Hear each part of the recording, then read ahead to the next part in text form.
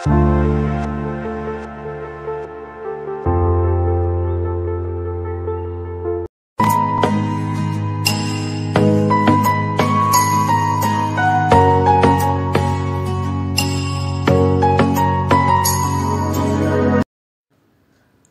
വലൈക്കും ഇന്നത്തെ എന്റെ റെസിപ്പി ഒരു ബീട്രൂട്ടും ക്യാരറ്റും കൊണ്ടുള്ള പുഡിങ്ങാണ്. അതിനുവേണ്ടി ആദ്യം തന്നെ ബീട്രൂട്ടും ക്യാരറ്റും നന്നായിട്ട് തൊലി കളഞ്ഞ ശേഷം കട്ട് ചെയ്ത് ഒരു കുക്കറിലിട്ട് ഒരു വിസിൽ കേൾക്കത്തക്ക രീതിയിൽ വേവിച്ചെടുക്കാം. അതിനുശേഷം ഒരു പാൻ അടുപ്പി വെച്ച് അതിലേക്ക് നമുക്ക് ഒരു ടേബിൾ സ്പൂൺ നെയ്യ് ഒഴിച്ചു കൊടുക്കാം.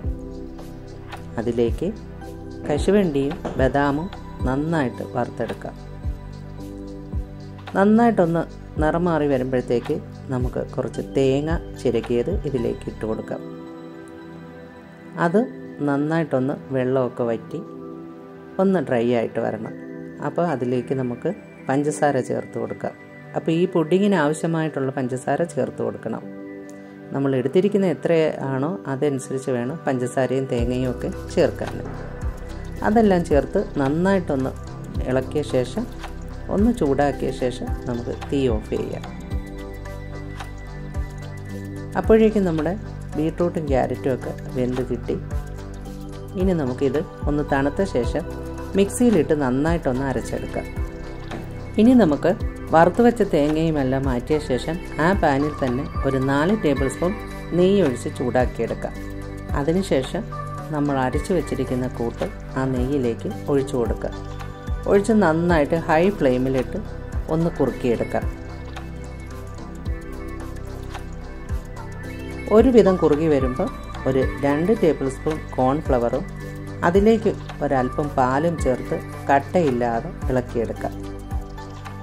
അത് നമുക്ക് ഈ കൂട്ടിലേക്ക് ഒഴിച്ചു കൊടുക്കാം.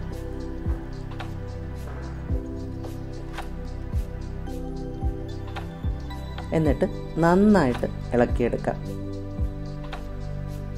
അതൊന്ന് കുറുകി വരുമ്പോൾ നമുക്ക് മാറ്റി വെച്ചിരിക്കുന്ന തേങ്ങയും പഞ്ചസാരയുടെയും കൂട്ട് ചേർത്ത് കൊടുക്കാം. അതെല്ലാം കൂടി നന്നായിട്ടൊന്ന് മിക്സ് ചെയ്ത് നന്നായിട്ട് ഒരു ലോ ഫ്ലെയിമിലിട്ട് കുറുക്കിയെടുക്കാം.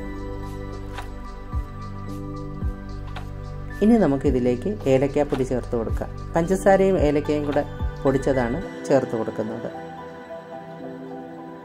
ഈ സമയത്ത് നമുക്ക് മധുരം നോക്കിയിട്ട് കുറവാണെങ്കിൽ കുറച്ചുകൂടി മധുരം ചേർത്ത് കൊടുക്കാം.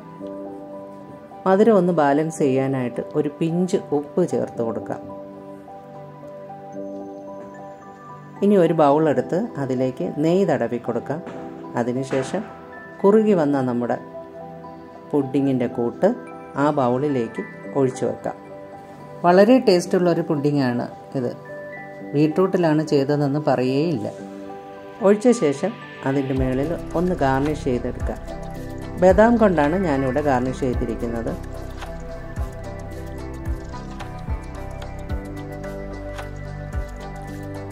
ഇത് നന്നായിട്ട് തണുത്ത ശേഷം നമുക്കിത് ഫ്രിഡ്ജിൽ വെച്ച് തണുപ്പിച്ചെടുക്കാം. അപ്പോൾ ഈ വീഡിയോ നിങ്ങൾക്ക് ഇഷ്ടപ്പെട്ടാൽ എനിക്ക് ലൈക്ക് ചെയ്യണം ഷെയർ ചെയ്യണം. ആദ്യമായിട്ട് കാണുന്നവരാണെ ഒന്ന് സബ്സ്ക്രൈബും കൂടെ ചെയ്യണം. തൊട്ടടുത്തുള്ള കുഞ്ഞു ബെൽ ബട്ടനും കൂടെ അമർത്തിയാൽ ഞാനിടുന്ന വീഡിയോയുടെ നോട്ടിഫിക്കേഷനൊക്കെ നിങ്ങൾക്ക് കിട്ടുന്നതായിരിക്കും. ഇനി ഇത് നമുക്ക് കട്ട് ചെയ്തെടുക്കാം. അപ്പോൾ ഇനി ഒരു വീഡിയോ ആയിട്ട് കാണുന്നവരെ ബായ്